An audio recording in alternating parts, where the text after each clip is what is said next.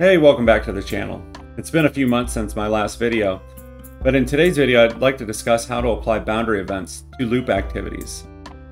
Business software and system architects communicate through diagrams, while hands-on engineers communicate via code. On the screen is a snippet of some recent work we did with a customer, in which we developed an automated solution for their trading card inventory management system. The model was used to communicate with the software delivery teams in that to be design process.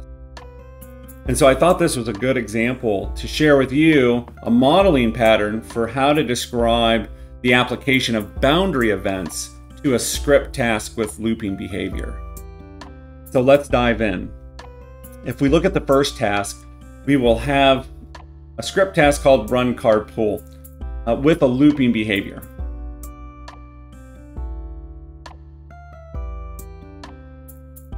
Standard loop there. Um, but then if we go down into the standard loop details, um, what we'll see is that we set the maximum loop attribute to five, meaning the maximum execution uh, would be five times in that activity. But a key note is if we don't set the number, it will be unbounded uh, and it'll continue to loop.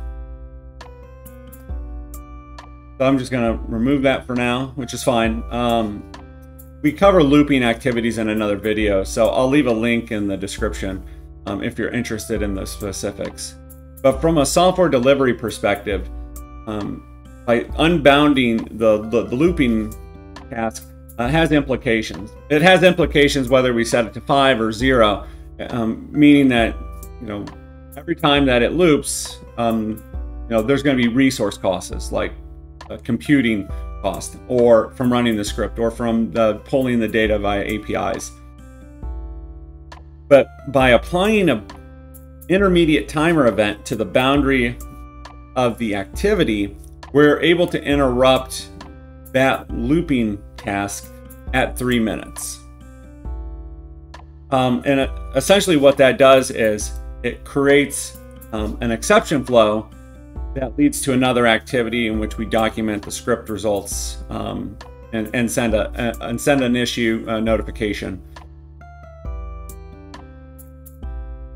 And the exception flow will help us in terms of avoiding buggy scripts or if there's issues with APIs um, when the software delivery teams go and try to develop the code. Basically, it's another way to avoid the infinite loop, whether we set that number or leave it unbounded. A key note is that um, for each successful card pool, the process will continue in which we're able to populate the card data.